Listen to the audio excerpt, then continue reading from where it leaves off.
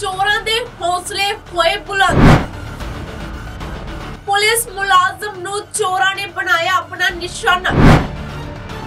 ਇੱਥੇ ਮੋਟਰਸਾਈਕਲ ਆਇਆ ਸੀ 1226 ਹਾਂਜੀ।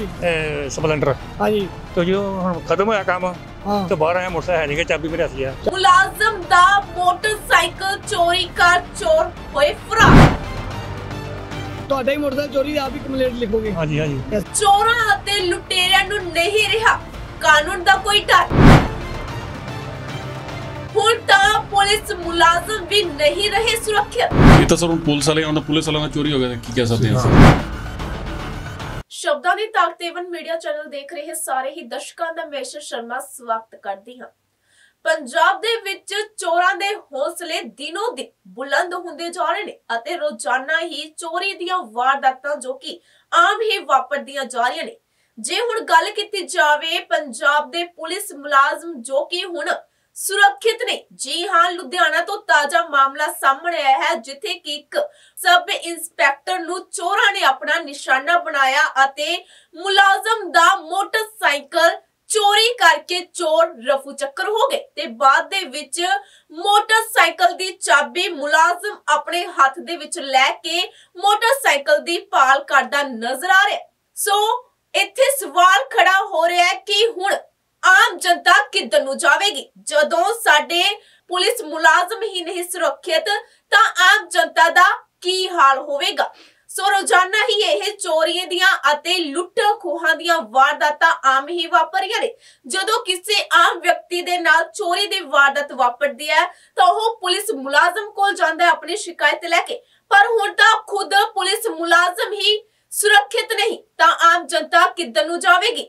ਦੱਸ ਦਈਏ ਕਿ ਸਤਲੁਜ ਕਲੱਬ ਦੀਆਂ ਚੋਣਾਂ ਹੋ ਰਹੀਆਂ ਹੁੰਦੀਆਂ ਨੇ, ਜਦੋਂ ਕਿ ਮੁਲਾਜ਼ਮ ਦੀ ਇਹਨਾਂ ਚੋਣਾਂ ਦੌਰਾਨ ਡਿਊਟੀ ਹੁੰਦੀ ਹੈ ਅਤੇ ਇਸੇ ਡਿਊਟੀ ਦਾ ਫਾਇਦਾ ਚੋਰਾਂ ਦੇ ਵੱਲੋਂ ਚੁੱਕਿਆ ਜਾਂਦਾ ਹੈ ਅਤੇ ਪੁਲਿਸ ਮੁਲਾਜ਼ਮ ਦਾ ਮੋਟਰਸਾਈਕਲ ਚੋਰੀ ਕਰਕੇ ਚੋਰ ਰਫੂ ਚੱਕਰ ਹੋ ਜਾਂਦੇ ਨੇ। ਸੋ ਇਸ ਬਾਬਤ, ਇਸ ਮਾਮਲੇ ਸੰਬੰਧੀ ਗੱਲਬਾਤ ਕਰਦੇ ਹਾਂ ਪੀੜਤ ਕਰਮਚਾਰੀ ਦਾ ਕੀ ਕਹਿਣਾ ਹੈ? ਆਓ ਸੁਣਦੇ ਹਾਂ ਉਹਨਾਂ ਤੋਂ ਹੀ। ਗੁਰ- ਇਸੇ ਗੁਰਦੇਵ ਸਿੰਘ? ਇਹ ਅਸੀਂ ਗੁਰਦੇਵ ਸਿੰਘ ਕਿੱਥੇ ਡਿਊਟੀ ਤੁਹਾਡੀ? ਕਲਾ ਚੌਂਕੀ। ਕਲਾਸ ਚੌਂਕੀ।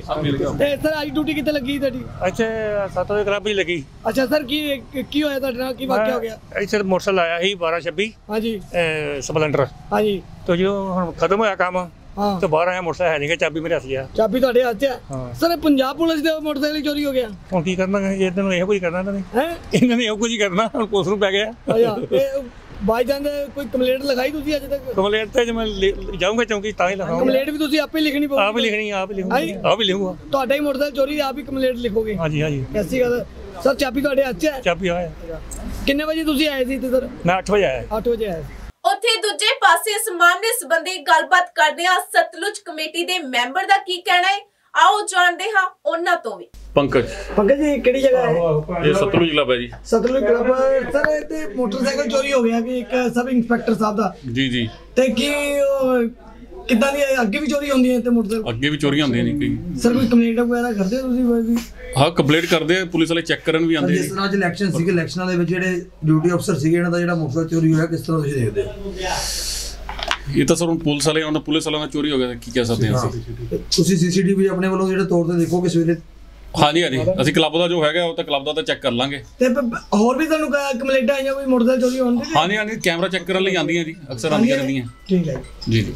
ਉਹ ਚੈੱਕ ਕੀਤਾ ਜਾਊਗਾ ਸਵੇਰੇ ਕੈਮਰਾ ਜੀ ਜੀ ਚੈੱਕ ਕਰ ਲਾਂਗੇ ਜ਼ਰੂਰ। ਸੋ ਹੁਣ ਦੇਖਣਾ ਹੋਵੇਗਾ ਇਸ ਪੀੜਤ ਪੁਲਿਸ ਮੁਲਾਜ਼ਮ ਦੇ ਹੱਥ ਉਸਦਾ। ਜੋ ਚੋਰੀ ਹੋਇਆ ਮੋਟਰਸਾਈਕਲ ਹੈ ਉਹ ਲੱਗੇਗਾ ਜਾਂ ਫਿਰ ਨਹੀਂ। ਅਤੇ ਹੁਣ ਆਮ ਜਨਤਾ ਜ਼ਰੂਰ ਇਹ ਖਬਰ ਦੇਖ ਕੇ ਸੋਚਾਂ ਦੇ ਵਿੱਚ ਪੈ ਗਈ ਹੋਵੇਗੀ ਕਿ ਜਦੋਂ ਸਾਡੇ ਕਾਨੂੰਨ ਦੇ ਰਖਵਾਲੇ ਹੀ ਨਹੀਂ ਸੁਰੱਖੇ, ਤਾਂ ਹੁਣ ਸਾਡਾ ਕੀ ਹਾਲ ਹੋਵੇਗਾ? ਸੋ ਆਮ ਵਿਅਕਤੀ ਦਾ ਆਪਣੇ ਘਰ ਤੋਂ ਪੈਰ ਰੱਖਣਾ ਹੀ ਮੁਸ਼ਕਿਲ ਹੋ ਗਿਆ। ਰੋਜ਼ਾਨਾ ਹੀ ਪੰਜਾਬ ਦੇ ਵਿੱਚ ਲਾਅ ਐਂਡ ਆਰਡਰ ਦੀ ਜੋ ਕਿ ਸਥਿਤੀ ਵਿਗੜਦੀ ਜਾ ਰਹੀ ਹੈ, ਲੁੱਟਕ ਸੁੱਟਾ, ਕਤਲ, ਨਸ਼ੇ, ਜੋ ਕਿ ਹਰ ਘਰ ਦੇ ਵਿੱਚ ਨਸ਼ਾ ਵੜ ਚੁੱਕਿਆ ਹੈ ਅਤੇ ਚੋਰੀ ਦੀਆਂ ਵਾਰਦਾਤਾਂ ਤਾਂ ਹੁਣ ਆਮ ਹੀ ਹੋ ਗਈਆਂ ਨੇ ਰੋਜ਼ਾਨਾ। ਜੋ ਕਿ ਇਹਨਾਂ ਵਾਰਦਾਤਾਂ ਨੂੰ ਅਸੀਂ ਦੇਖ ਅਤੇ ਸੁਣ ਹੀ ਰਹੇ ਹਾਂ ਤੇ ਇੱਕ ਆਮ ਔਰਤ ਕਹਿ ਲਈਏ ਜਾਂ ਆਮ ਇਨਸਾਨ ਕਹਿ ਲਈਏ, ਕਿਸੇ ਦਾ ਵੀ ਬਾਜ਼ਾਰ ਦੇ ਵਿੱਚ ਜਾਣਾ ਹੁਣ ਮੁਸ਼ਕਿਲ ਹੀ ਹੋ ਗਿਆ ਤੇ ਕੋਈ ਵੀ ਵਿਅਕਤੀ ਹੁਣ ਸੁਰੱਖਿਅਤ ਨਹੀਂ ਹੈ ਤੇ ਹੁਣ ਨਾ ਸਾਡੇ ਕਾਨੂੰਨ ਦੇ ਰਖਵਾਲੇ ਨੇ, ਉਹ ਵੀ ਸੁਰੱਖਿਅਤ ਨਹੀਂ ਰਹੇ। ਸੋ ਹੁਣ ਦੇਖਣਾ ਹੋਵੇਗਾ, ਇਸ ਪੀੜਤ ਪੁਲਿਸ ਮੁਲਾਜ਼ਮ ਨੂੰ ਇਨਸਾਫ ਮਿਲੇਗਾ ਜਾਂ ਫਿਰ ਨਹੀਂ। ਇਹ ਤਾਂ ਹੁਣ ਆਉਣ ਵਾਲਾ ਸਮਾਂ ਹੀ ਦੱਸੇਗਾ। ਏਵਨ ਮੀਡੀਆ ਲਈ ਲੁਧਿਆਣਾ ਤੋਂ ਦਿਵਿਆਂਸ਼ੂ ਭੰਡਾਰੀ ਦੀ ਖਾਸ ਰਿਪੋਰਟ